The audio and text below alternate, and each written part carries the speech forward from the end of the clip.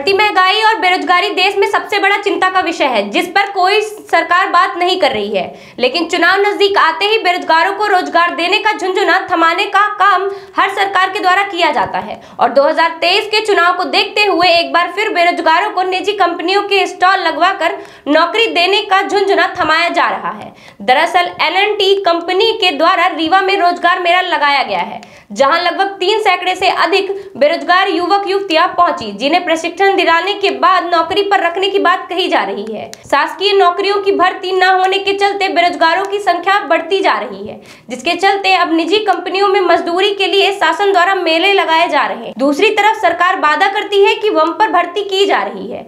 आइए आयोजित इस शिविर की कुछ दिखाते हैं झलकियाँ। जहाँ बेरोजगारों की भीड़ उमड़ी और सुनाते हैं आयोजकों के साथ छात्रों को उनका क्या कहना है? किसी को कोई डाउट है सपना है तो है। हो मिल गए तो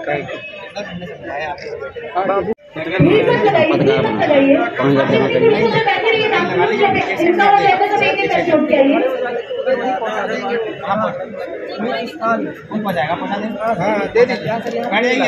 बैठ आप